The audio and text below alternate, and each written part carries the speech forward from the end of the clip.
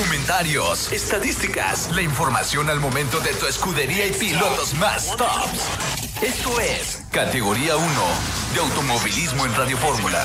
Never wanna miss it. En la voz de Gibran Pérez Javid. Soy Fox Fox. Gracias por contar con nosotros en Noticias Morelos a través de Radio Fórmula 106.9 FM. Es lunes.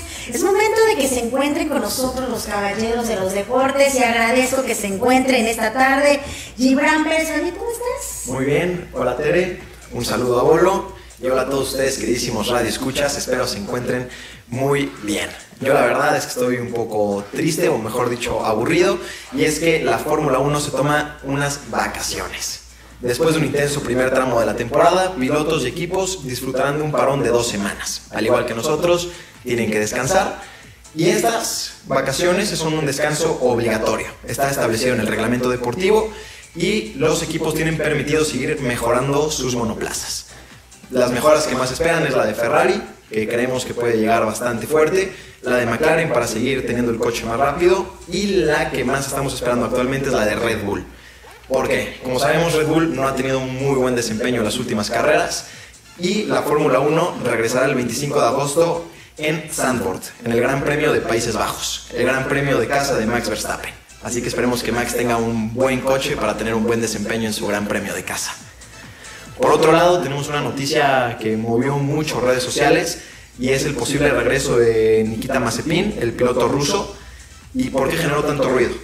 Bueno, este piloto fue despedido de Haas por el conflicto que hubo entre, bueno, que sigue presente de Rusia y Ucrania, pero la verdad es que todos sabemos que no tuvo muy buen desempeño para Haas y ocuparon esto para sacarlo de la, de la escudería, tratando de evitar generar conflicto.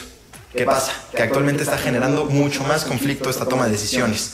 Porque la gente se está quejando que dicen que Mazepin no tendría que haberse sido despedido de Haas por este motivo. Total, él es ruso, sí, pero ¿qué culpa tiene él de lo que está pasando? Entonces ya se cree que puede llegar a volver, pero ¿cómo volvería? Y es que Alpine acaba de nombrar a Oliver Oaks, un ex piloto y fundador del equipo de Fórmula 2 Hightech, como su nuevo jefe de equipo.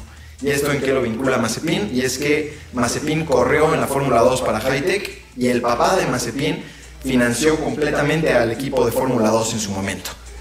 Entonces, en los últimos días, Mazepin aparte subió una foto a sus redes sociales en la que se puede especular que va a llegar de regreso a la Fórmula 1 y justo para el equipo Alpine. Así que veremos. Ya están dando señales. Sí, sí, sí, hay señales. Y la noticia que más impactó sin duda alguna durante esta semana fue la salida de Jonathan Hedeway de Red Bull. Para los que no conozcan, esta persona es una de las cabezas más importantes de Red Bull. Bueno, era porque ya se va. Al igual que Adrian Newey, que es el genio de la aerodinámica del coche, que también ya se fue. Y de Christian Horner, que es el jefe actual de equipo. Estos tres eran los más importantes de la escudería. Ya se van dos de tres. ¿Y qué hacía este hombre que era tan importante? Él es el que se encargaba de defender a los pilotos con la FIA, evitando sanciones, ocupando el reglamento justamente de la FIA.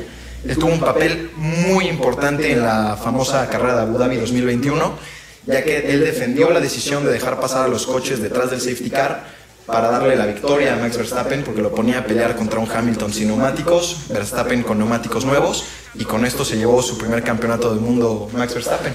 Entonces, veamos qué sucede con Red Bull en los próximos días porque la va a tener complicada la escudería. Pues ya veremos cómo regresan con todo, con estos cambios que se están eh, pues todavía ahí vislumbrando. Y bueno, también eh, para ver cómo les va a quienes no les fue tan bien Sí. antes de que se fueran de vacaciones. Justamente entre ellos Checo Pérez, que tenemos buenas noticias también del mexicano. Y es que ya el, el jefe de equipo de Red Bull, Christian Horner, confirmó que Checo Pérez seguirá después de las vacaciones de verano. Muchos estaban muy preocupados debido a que había tenido un bajo desempeño. Se filtraron por ahí unos temas de su cláusula de contrato que decían que si tenía menos de la mitad de puntos de Max Verstappen lo podían sacar, aunque tuviera el contrato hasta 2026. Lo bueno es que Horner ya lo desmintió y dijo que van a apoyar a Checo Pérez muchísimo en lo que queda de temporada. Que se dieron cuenta que el piloto necesita tener un buen coche.